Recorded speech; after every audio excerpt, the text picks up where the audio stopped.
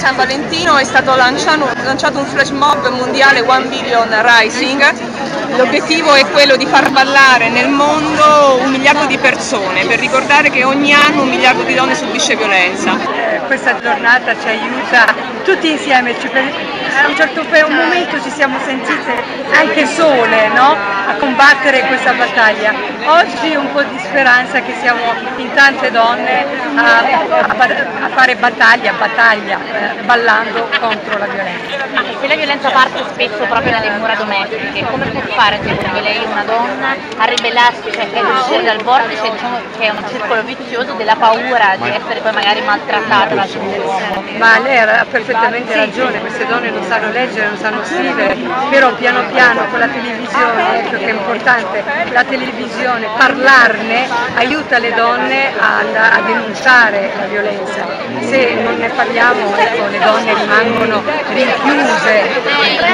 Poi abbiamo un numero è mai più sola che risponde in lingua araba a tutte le donne e abbiamo migliaia di donne un mese che ci chiamano per aiutarli, per tirarli fuori da questa segregazione e sistemarli nei centri di accoglienza. Il problema è che i centri di accoglienza sono pieni, non c'è più posto, non sappiamo più dove mettere queste donne.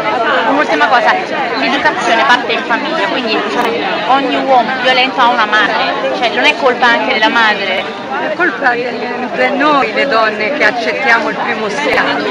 La donna non deve mai accettare il primo schiaffo. E poi l'educazione ha ragione, ma siccome noi abbiamo una, la cultura diciamo, eh, diciamo arabo-islamica, è una cultura abbastanza maschilista, ma anche, diciamo, anche italiana, eh, la ritroviamo anche in Italia, è maschilista purtroppo. Ecco, eh, le donne devono cominciare a educare i figli all'uguaglianza tra il fratello e la sorella e che non ci sia ecco, il maschio che no, è il capo di famiglia quasi delle volte, vai a fare il letto a tuo fratello, dai un bicchiere d'acqua al tuo fratello, ma dobbiamo ecco, cambiare cultura anche noi, ma la cultura invece estremista è, ci arrivata come un, un tsunami in tutta Europa, voluta, politica da fratelli musulmani, da tanta gente, ma questo è un altro discorso.